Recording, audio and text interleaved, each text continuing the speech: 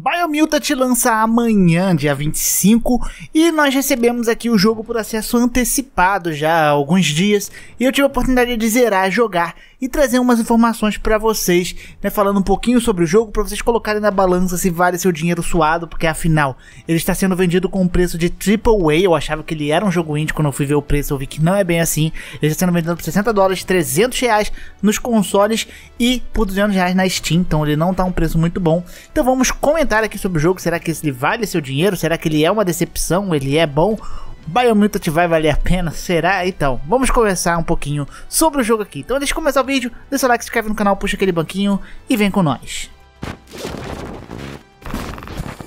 Biomutant conta a história de um mundo pós-apocalíptico onde os humanos já abandonaram o planeta e aqui a gente vive no mundo onde mais ou menos a espécie ali, nossa espécie, que são esses bichinhos meio ratinhos ali, estão agora vivendo aqui e você tem a árvore da vida, que ela mais ou menos é o que ainda mantém um planeta ali vivo e entretanto, a árvore da vida ela está começando a falecer, a morrer aos poucos, né? E aí as coisas estão meio divididas, porque o mundo ele é dividido em várias tribos e existem tribos que são a favor de deixar o curso acontecer, as coisas têm que acontecer e isso seria a ordem natural, deixar a árvore da vida falecer ou tem as tribos que aí são a favor de salvar a árvore da vida, porque ela vai manter ali o um mundo meio que nos conformes. Tá? Essa daqui é a história básica do jogo e você é jogado nesse meio de história como uma pessoa que é de extrema importância para você esquecer um pouco do seu passado, mas que você precisa aí guiar o rumo das coisas. É mais ou menos o seu objetivo fazer isso e você vai poder escolher se você quer levar a árvore da vida para falecer ou se você quer seguir o caminho bom que seria salvar a árvore da vida. O jogo começa então te apresentando a tela de customização que te dá uma boa liberdade, de certa forma, de você poder customizar. Você pode customizar ali mais ou menos a sua raça, então tem vários personagens diferentes, e essa sua raça, ela mais ou menos molda alguns status iniciais em que você vai vir, a afinidade com algum tipo de status. Depois você pode modificar ali a questão livre de você ter força, inteligência, agilidade, você tem uma liberdade de escolha ali qual mais ou menos você quer e dependendo como você vai mudando ali, o personagem ele vai ficando ou mais forte ou mais alto se ele for mais ágil, por exemplo, ou se você equilibrar ali mais ou menos inteligência e agilidade, ele fica cabeçudo e orelhudo ali. Inclusive achei muito parecido com esse mizinho, mas em geral é, você tem uma customização interessante. Você pode customizar as cores, você pode customizar a sua tolerância a certos tipos de coisas, como gelo, fogo, que são alguns ambientes do jogo que são extremos e você tendo essa tolerância vai te ajudar a sobreviver por mais tempo, embora você possa usar armaduras que façam esse papel também. Você pode escolher a sua classe, a sua classe ela define os itens iniciais que seu personagem vai começar, mas você é livre para alterar conforme você vai avançando no jogo. O jogo então ele te joga numa espécie de tutorial, um tutorial que por sinal é bem ali lento e um pouco travado na questão de ser interessante mesmo, você fica meio chato no tutorial, tá? Aí finalmente o jogo te joga no mundo aberto e ele te apresenta, né, algumas coisas que você tem, como por exemplo a questão de luz e escuridão, que são duas criaturinhas que ficam ali como o bem e o mal e suas ações ou vão aumentar em luz ou vão aumentar em escuridão. Isso daí podem desbloquear habilidades, mas também como vão alterar no final do jogo. Então é importante mais ou menos você decidir. Vale lembrar que essas coisas de luz e escuridão, elas são apenas nas suas respostas. E nenhum momento do jogo você vai ter, tipo, se você tiver muita luz, nem você não vai ter uma opção exclusiva, tipo Mass Effect, pra luz, o que vai te dar uma abordagem diferente numa quest do tipo, nada disso, só apenas vai influenciar basicamente seu final e algumas habilidades que você pode usar. E agora, quanto habilidades em geral, vamos falar do combate do jogo. O combate do jogo, ele é mais ou menos de hack and slash ali, com movimentos de Wung Fu. Wung Fu é o nome da lutinha que tem no jogo. Você pode usar uma série de armas que você quiser, seja armas contundentes, katanas, e essas armas são bem craftáveis e criáveis, eu vou falar mais pra frente.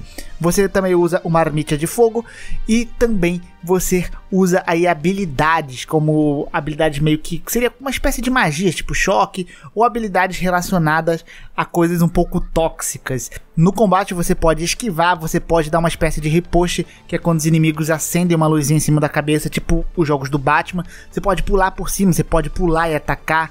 Você tem alguns combos que você vai desbloqueando, combos bem simples, mas que você vai desbloqueando, você conseguir uma arma nova, você vai ganhando pontos conforme você upa e você pode desbloquear combos relacionados a esse tipo de arma. E o combate em geral é isso. Então você é jogado no mundo ali, onde já inicialmente você tem que escolher uma primeira tribo que você quer ajudar. Então você vai escolher se você quer salvar a árvore da vida ou não. Essa decisão pode ser mudada durante o curso do jogo, mas eu fui com a primeira ali que eu escolhi e fui seguindo até o final. E então são divididos em duas quests principais que já são definidas logo no início do jogo, e são elas que vão basicamente até o final.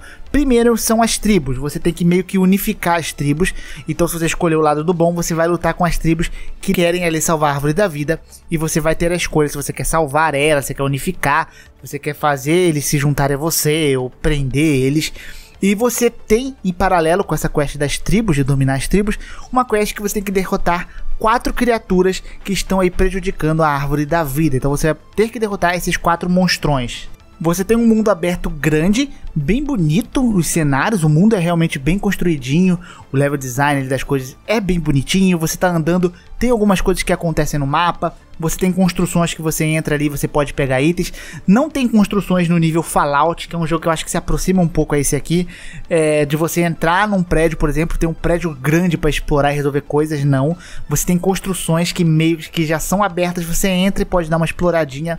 Então, o máximo que você passa dentro de um lugar ou outro que você encontra ali é 5, 10 minutos.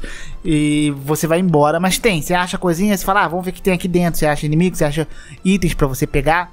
E agora vamos falar dos pontos positivos e dos pontos negativos, já que eu dei uma, uma pincelada geral no que é o jogo em si. Eu acho que deu para situar vocês. Bem, pontos positivos do jogo. Eu gostei do combate, o combate ele é legalzinho, porém, por mais que eu goste do combate, ele também tem falhas. Ele tem momentos que você não sente que está sendo bem respondido, tem momentos que ele é um pouco desbalanceado, principalmente quando tem inimigos ali de longo alcance atirando em você. Você não tem meio que um breakzinho quando às vezes você está executando um, um combo ou alguma habilidade. Por exemplo, você pode jogar um inimigo no ar e fazer um combozão nele no ar. Só que você fica tomando tiro. Então, geralmente em jogos, os inimigos eles dão, eles param para você lutar com o inimigo em si. Né? Aqui você não tem muito disso e acaba irritando um pouquinho. Mas em geral, um combate até que é ok. No final, mais pro final do jogo, ele vai ficando um pouco enjoativo, porque você tem muito pouca opção de combos, então são pouquíssimos combos que você desbloqueia e só são de armas específicas. O mundo aberto tem áreas que são legais, como áreas, por exemplo, que mudam o clima, então dependendo, você vai precisar de roupas específicas para esse clima, né? Ou você pode aumentar também com pontos que você ganha a sua afinidade, tipo a calor, o frio, no início do jogo e também no meio do jogo você pode ir aumentando, mas o mais fácil é você usar roupas específicas, né? E você tem ah, é, puzzles também em muitas das áreas, e os puzzles são bem simples, é, coresinhas, branco e amarelo, e você tem que ir ligando as cores. O que muda geralmente é o mecanismo que você está fazendo o puzzle, mas o conceito é sempre ligar as cores. Muito simples, nenhum problema. O design dos inimigos são interessantes, principalmente dos quatro monstrões que você tem que matar no decorrer do jogo. Essas boas fights, inclusive, desses quatro monstrões, são as mais interessantes do resto do todo o jogo, porque eles fazem questão de fazer uma luta diferente uma entre outra. Então as lutas são bem únicas, isso é legal.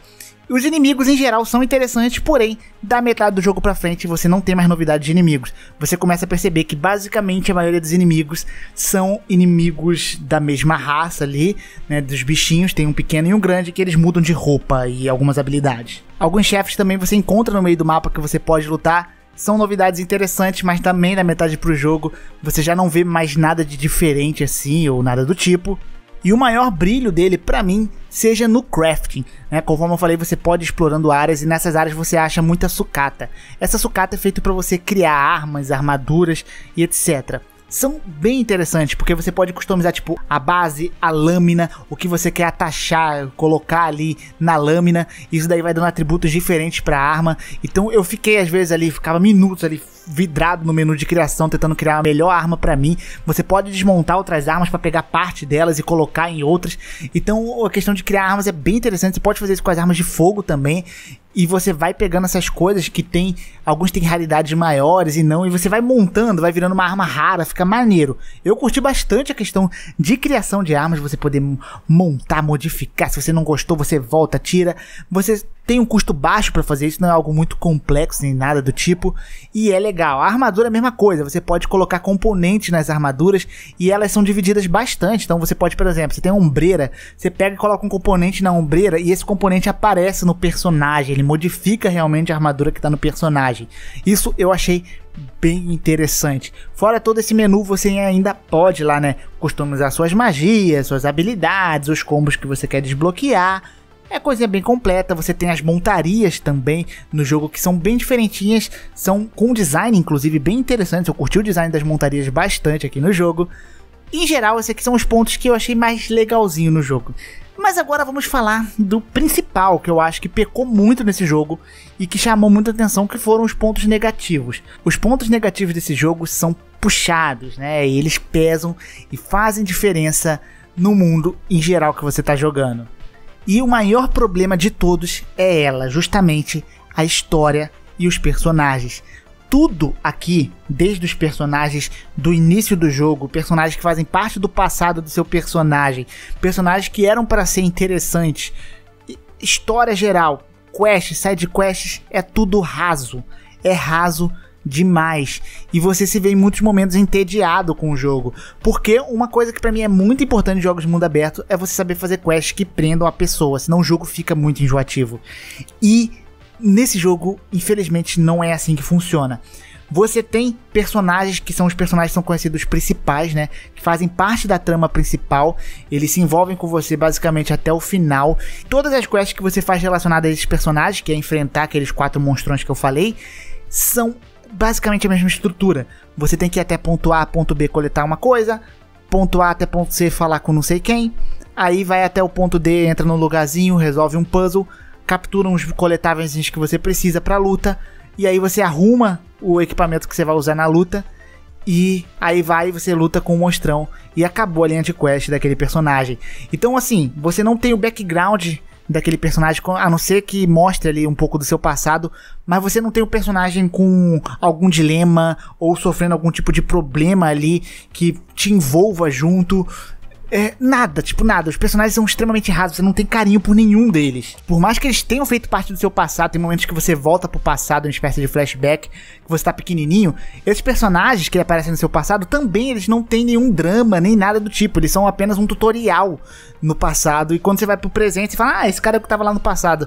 E aí, acabou. Tipo, você não tem carinho por ele, porque os personagens não têm um drama, não tem um dilema, não tem nada que te prenda a eles, de uma personalidade diferente que te prenda esses personagens não tem, são esquecíveis, muito esquecíveis os personagens, e eles são os personagens principal da trama, né? Eles são inclusive decisões que você precisa ter em relação a esses personagens que vão te levar pro final do jogo, mas você não tem carinho por nenhum deles, cara. É muito louco isso. E aí a gente tem a segunda quest principal, né? Que são as duas que rolam em paralelo, que é a questão das tribos também é outra coisa. As tribos são cascas vazias, né? Você não tem uma tribo com um dilema forte. Ah, eu tenho essa motivação, eu quero fazer isso, eu quero fazer aquilo. Não, todas as tribos têm o mesmo pensamento, ou elas são favoráveis da vida ou não. E fora isso, não acrescenta mais nada. Elas só mudam de roupa, cada uma tribo tem um uniformezinho diferente, e você vai invadindo essas tribos aí no jogo. E simplesmente você ganha essas tribos, elas meio que se alinham a você, você prende elas ali. E acabou, não tem nada de. Nenhuma tribo se diferencia da outra, assim, além do uniforme. A forma de invadir são poucas vezes que modificam, mas em geral são as mesmas. Você pode invadir e não lutar usando o carisma. E foi o único momento do jogo que eu vi a gente usar o carisma do personagem. Fora isso, nenhuma quest ou side quest que eu fiz, eu vi o uso disso aqui. Então é um uso bem escasso do carisma. E o próprio jogo reconhece isso, que é repetitivo você ficar tomando as tribos, porque não tem muita diferença nenhuma da outra. E que chega um momento do jogo que ele fala: você quer unir todas as tribos ou você quer conquistar uma por uma? O jogo sabe que você não vai ter saco para fazer isso, e ele te dá essa opção de você escolher e acelerar o processo. Para você ver, o próprio jogo tem conhecimento que é conquistar as tribos é um negócio extremamente repetitivo, sabe? As quests secundárias são a mesma coisa. Teve uma que eu achei que seria algo mais interessante, que eu de repente estava andando, eu vi que uma vila estava sendo destruída, eu ajudei ali a vila e o cara falou: "Pô, me ajuda a reconstruir aqui". Coletei madeira pro cara, beleza, reconstruí uma vila. Essa daí foi a única coisa que eu achei mais rica, um pouco mais rica. E olha, olha como é que era o nível. E dentro dessa vila tinha outras side quests que eu podia fazer. Aí era uma tipo: "Ah, meu filho queria vingança com tal monstro". Aí você ia lá no ponto do mapa e lutava com aquele monstro. Ah, coleta não sei o que aqui pra mim. Você ia lá e coleta. Colete um de cinco. Tem muitas quests assim no jogo. Então, se não tem side quests bem elaboradas, se você não tem a main quest que é elaborada, imagina as side quests. Então, cara, as quests são muito, muito precárias, são muito rasas. Principalmente, cara, se pelo menos a principal tivesse uma boa trama, né, e as side quests fossem leve trás, que tem muito jogo que faz isso, eu acho ruim, seria um pouco menos pior, mas, cara, nem a quest principal desse jogo se salva. Então, cara, este é para mim é o pior ponto negativo do jogo. Tem mais que a gente vai falar aqui, mas esse aqui é o pior, que é a questão de história, personagens, quests. É muito precário. Você se vê andando no mundo de um ponto pro outro sem uma vontade, sabe? Sem você falar, pô, quero ver o que, que vai acontecer aqui. Pô, quero ajudar esse NPC aqui na causa dele porque ele é legal. Você não tem esse sentimento no jogo. Infelizmente, é bem triste isso, cara. Porque eu tava esperando bem desse jogo. É, mas é isso. Agora, outra coisa que eu achei muito amadora no jogo é a questão áudio e a questão de cutscene. Basicamente, o audiovisual do jogo. Você tem um narrador que ele fala pelos personagens, o personagem fala uma língua do jogo que a gente não conhece e o narrador narra por cima o que eles falaram, que basicamente tira um pouco da personalidade, mas acho que não estraga. Só que o narrador é bem chato, ele fica falando muito. O jogo te dá essa opção de você diminuir a frequência do narrador. Com 4 horas de jogo, o jogo me avisou isso, tá? Mas enfim, você pode diminuir a frequência do narrador, mas ele fica comentando umas coisas aleatórias também. E o problema aqui do audiovisual é a questão do som, às vezes isso estraga um pouco o combate porque você não sente muito o impacto das coisas, parece que você, o som não tá saindo do jogo. O som das coisas, com, a, com exceção de você atirar, o resto do som parece que é muito baixo. Eu mexi na regulagem do som ali e não resolvia o meu problema. E eu vi que realmente é uma questão do jogo mesmo. Tem uma cena, por exemplo, em que eu pulei na água e uma criatura que estava me seguindo pulou atrás de mim e você não tem, eu fiquei percebendo que você não tem aquele feedback do jogo de uma criatura pulou atrás de você. Você não tem um barulho dele pulando atrás de você. Você não tem, tipo, ele te ataca por baixo. Você não tem barulho dele mostrando que está se aproximando. Então você não tem esses feedbacks sonoros. Você vê que é uma coisa um pouco amadora que o jogo fez, que não tinha muito conhecimento realmente nessa questão cinematográfica. Tanto que eu até falei, pô, é meio aceitável porque é indie. Até eu ver que o jogo é 60 dólares. Então o jogo não é. Não sei se eu posso considerar um indie um jogo de 60 dólares. Eu acho que eu tenho que analisar a altura do preço. E aí, junto com isso, tem a questão das cutscenes. As cutscenes elas são cortadas de uma forma muito crua que você sente que é esquisito. Eu derrotei um monstro, ele simplesmente apagou a tela e me mostrou indo embora assim da cena.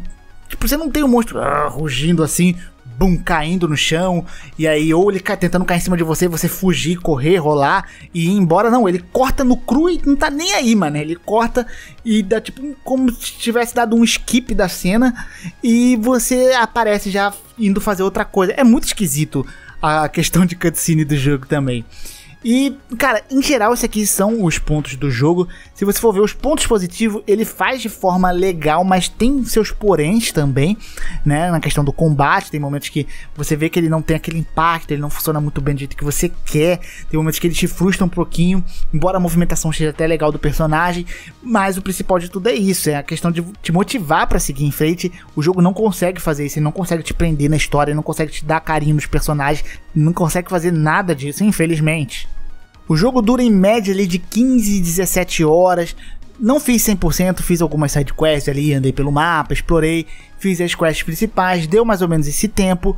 Em questão a bugs e problemas, eu não tive bugs explicitamente assim dentro do jogo, com exceção da câmera, às vezes dá uma bugadinha dependendo do ângulo que você tá, meio estilo From Software, e a questão de você não poder travar a mira no personagem, no inimigo. Ele faz isso automaticamente para você. Então às vezes você tá andando, você não quer enfrentar o inimigo, às vezes só tá andando pelo mundo. O jogo vai e tenta travar a mira nele e fica girando a minha câmera, eu não gostava muito disso. E o único problema mesmo que eu poderia dizer que eu tive foram crashes. Eu tive três crashes durante esse período de 15 horas de jogo, mas aqui, como eu peguei o jogo antes, pode ser coisas que vão ser corrigidas rápido no lançamento, porque em geral não é um jogo totalmente bugado, e sim um jogo que crashou, crashou comigo nesses três momentos aí. Mas fora isso, dentro do jogo mesmo, eu não percebi grandes bugs, pelo menos comigo não rolou. E, bem, esse aqui, né, é o Biomutant. Se vale a pena você pegar ele agora, eu não recomendo. Ele tá 300 pila, 200 no PC. E você vai pegar por um jogo que não vai te dar tanta motivação de jogar, você não vai curtir tanto a história, os personagens e só a gameplay dele e o mundo aberto não vão segurar ali a qualidade do jogo.